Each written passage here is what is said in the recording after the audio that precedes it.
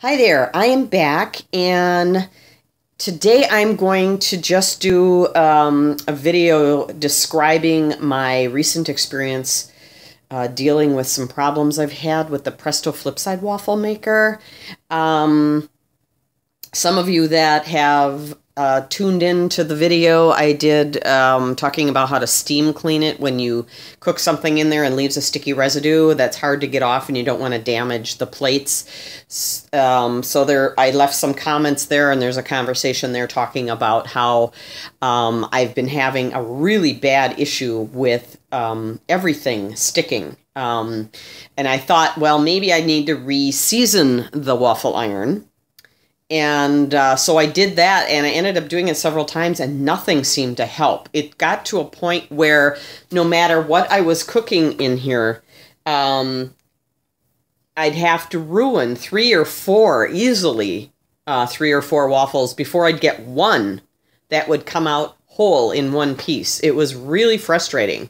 And then I'd get to that point thinking, oh, good, maybe I reseasoned it now. So I'd make a second waffle. Nope that one would tear to pieces, it would burn. I was chiseling it out with plastic, with dull plastic knives, and I just, it, it was a hair pulling experience.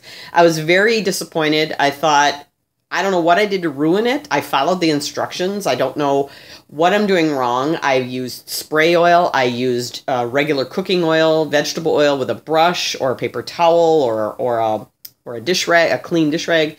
I couldn't figure out why it wasn't cooperating, even though I was giving it lots of oil. And that that in and of itself was frustrating because when you buy something non-stick, whether it be skillets, frying pan, saucepan, or a small appliance like this, you kind of go into it with the idea that, well, yeah, it's food isn't going to stick, you know, or it's going to need very little help in, in the way of oil, if any um, but it's also lowering calories if you're not having to put butter and oil and grease, you know, down on the pan first. And all of that sort of went out the window when this started to misbehave, and I couldn't figure out what was going on.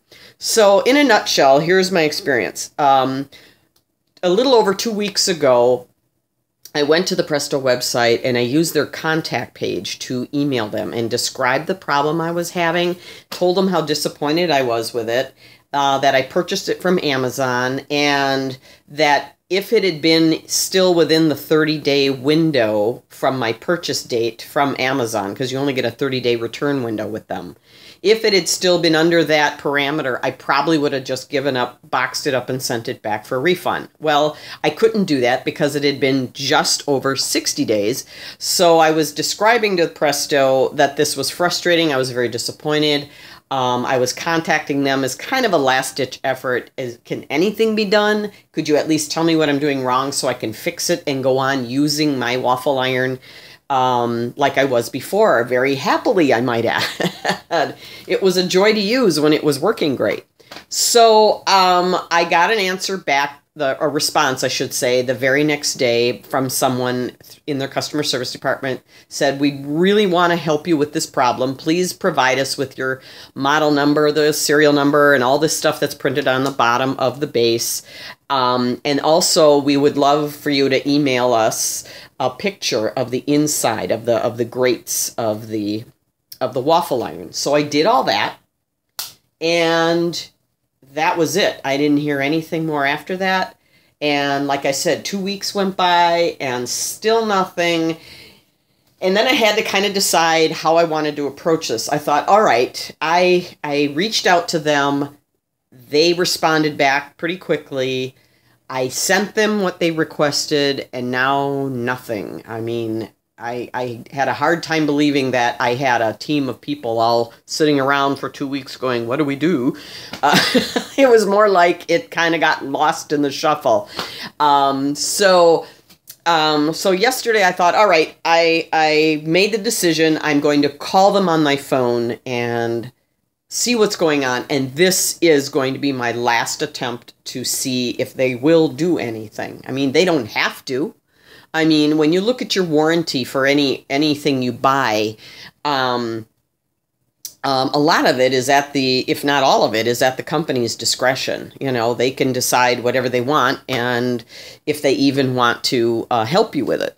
So, um, but Presto is is a good company, so I wanted to give them a fair shake in this whole thing. So when I called them, I talked to a customer service rep, and she was she was very friendly, she was very helpful, and very professional. Um, and so I told her what was going on and told her about the, the emails. And she put me on hold and she was gone for a while because when she came back, she was very apologetic and said, I really had to search through, but I found the original email. I found the response you got. And, um, but it took a while to find your response with the, with the included photo, um, and all the pertinent numbers. And she said the reason for that is it got, when you sent that back, it got forwarded to someone else. And that's kind of where um, she lost track of it. It just, it landed on someone else's um, desk, so to speak. And either it got forgotten about or it, it got lost in the shuffle with a lot of other projects. She said, I don't really know. I don't know if that's true, but it doesn't really matter.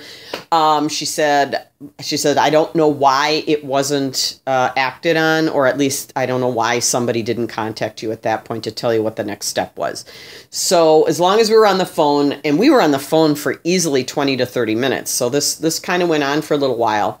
So once she had all the information, we talked for a while. She actually wanted me to read her my uh, of all the recipes I use, she wanted me to read her the recipe of the waffle batter I use most often, which is that yeasted uh, batter that I talk about a lot on my channel. And um, she wanted to know how much flour I used and how much oil or butter, whatever the fat was I used, because she wanted to know what the ratio was. So she's like, okay, okay, and how much sugar's in there. I mean, it was it got kind of down to brass tacks on ingredients.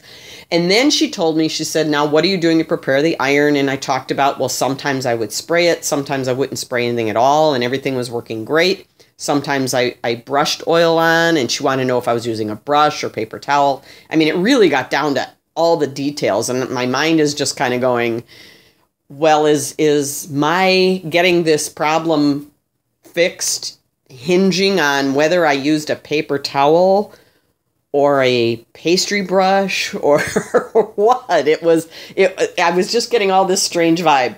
So when it was all over, she said, "Well, she said I'm going to send you a new waffle iron. Don't worry about that. But I'm going to tell you one thing right up front with this particular model, and this is one of the reasons I wanted to put this video out. She said, "Stop using or or when you get the new one, don't do it at all."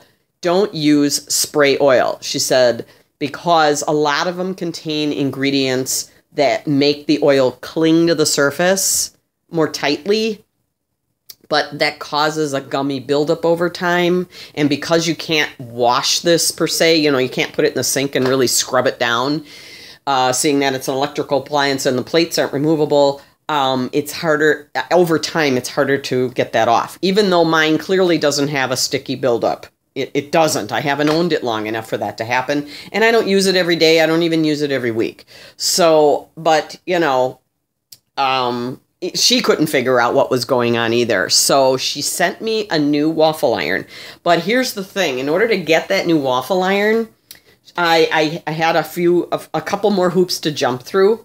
Uh, one, the big one was she said, I'm going to send you a new one, but you're not going to get it until you send me another email. And she said, you have to have a picture included where you cut, I hope you can see that, you cut the cord off at the base, right here. So that's, and then the picture has to be of the base of the, uh, of the waffle iron and the cut cord. And that's proof that this has been rendered unusable. Then you get your new waffle iron.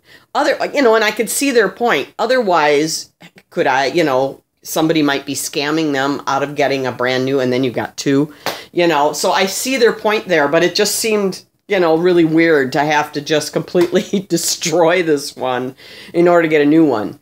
Um, that's that's not entirely unheard of, but it's it's only the second time I've had to do that. The first time was for a um, a dehumidifier that was working fabulously. It's something I loved, but I got a letter in the mail one day saying that it was one of several models that was recalled because it could cause a house fire. So I had to cut the cord off and actually send the cord back to them as proof that it was rendered, you know, unusable.